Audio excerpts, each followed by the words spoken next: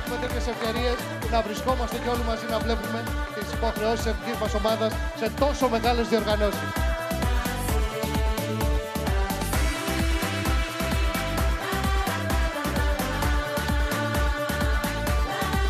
Να το κύπελο το πήραμε, να το παιδιά, σήκωσε το ψηλά.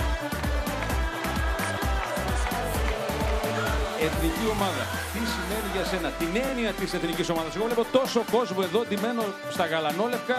Περιμένουμε να αρχίσει το παιχνίδι και θα το ζήσουμε με μεγάλη ένταση.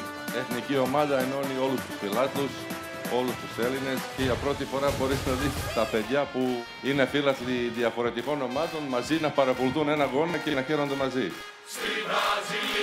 Αυτά τα παιδιά έχουν φύγει έχοντας ένα εθνόσημο με απόλυτη ευθύνη του ποιον εκπροσωπούν σε δύσκολες εποχές να δώσουν σε όλους εδώ που βρίσκονται πίσω στην πατρίδα κουράγιο. Πώς βλέπεις την κερκίδα που έχουμε εδώ; Παιδιά, καλησπέρα, είστε φανταστικοί εδώ, έχετε κάνει φοβερή ατμόσφαιρα, μπράβο σας.